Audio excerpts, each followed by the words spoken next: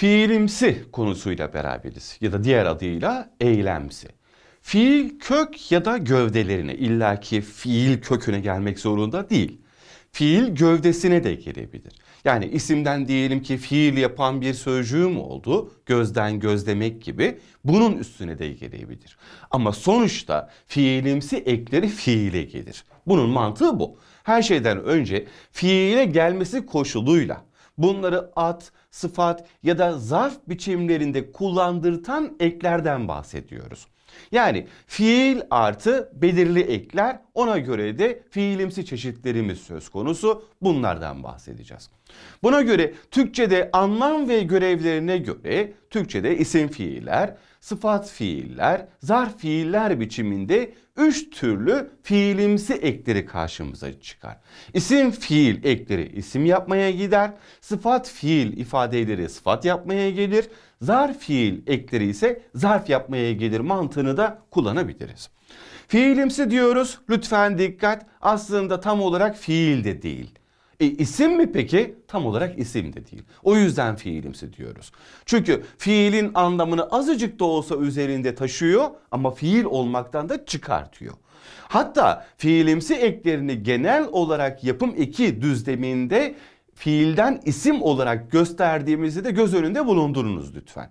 Yani e, fiilimsi ekleri aynı zamanda fiilden isim yapma ekleridir. Peki tam olarak isim mi yapar? Yok zorunda değil. Sıfat yapar, zarf yapar, isim yapar ama sonuçta yapım eki olarak fiilden isim görevindedir.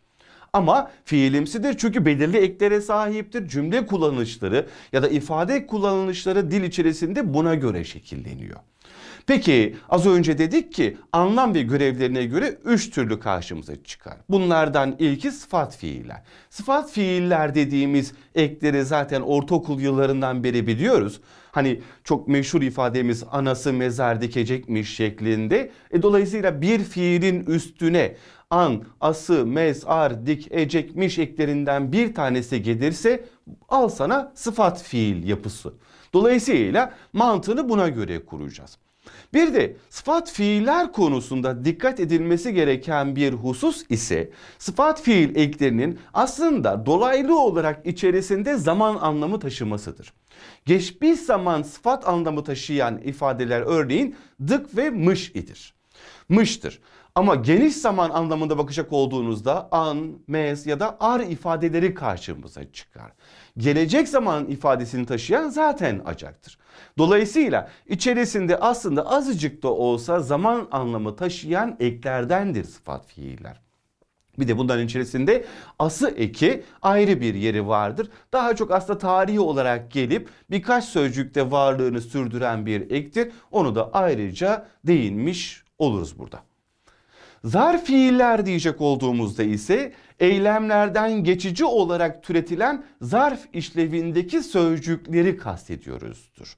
Zar fiiller zarf ve eylem özelliklerini birlikte gösterirler. Yani ben hem fiilim ama gelen ekle beraber artık bir zarf anlamı taşıyorum şeklinde bir kurguyu çok rahat bir şekilde bunlar için söyleyebiliriz. Zar fiillerin diğer bir görevi de asıl eylem ile yardımcı eylemi birleştirerek birleşik eylem yapmalarıdır. Dolayısıyla buradaki kastettiğimiz şey ne? Mevzu şu. Bir fiilin üstüne zar fiil eki gelecek olduğunda zar fiil eki aynı zamanda başka bir fiili de birleştirebiliyor. Bunu kurallı birleşik fiillerde gördük. Örneğin ebilmek diyoruz ya. E bilmek ifadesindeki e aslında zar fiil kökenlidir. Zar fiilin görevlerinden bir tanesi de iki sözcüğü birleştirmektir aslında. Yani yapabilmek ifadesinde yapmak fiili ve bilmek yardımcı fiili diyelim ki oradaki a ne? Aslında zarf fiil ekidir. Demek ki zarf fiilin sadece zarf yapmak gibi bir görevi yok. Aynı zamanda iki tane fiili de birleştirme görevi de söz konusu olabilirmiş. Tabi geleneksel dil bilgisinde bu çok göz önünde bulundurulan bir özellik olmadığı için burada sadece e, etimolojik bilgi anlamında ifade ettiğimizi de göz önünde bulunduralım. Peki Türkçe'de genellikle zarf fiilekleri hangi şekilde karşımıza çıkar? Onu da şu şekilde tablomuzda bir göz gezdirelim. Esasında çok fazla zarf fiil ekinin olduğunu biliyoruz. Dolayısıyla peki ben bunların zarf olup olmadığını nasıl anlayacağım ya da nasıl tespit edeceğim? Genellikle cümlede yüklemi bulduktan sonra asıl yüklemi, temel cümlenin yargısını bulduktan sonra nasıl gibi bir soruyu sorduğumda, zaman anlamında ne zamanı sorduğumda, durum ve e, zaman anlamında sorular sorduğumda cümle içerisinde fiil kökenli olup buna cevap veren varsa evet burada zar fiil olabilir diye düşüneceğim. Yani şöyle düşün. Koşarak koşarak geldi. Koşarak geldi ifadesinde geldiye soralım. Nasıl geldi? Koşarak. Peki koşarak kelimesinin kökü ne? Koş fiil. Peki arak ne? Kip değil bir şey değil. Ha o zaman bu zarf ile ikidir mantığını çok rahat bir şekilde kullanabilirim. Dolayısıyla zarf fiil tespitini yapabilirim.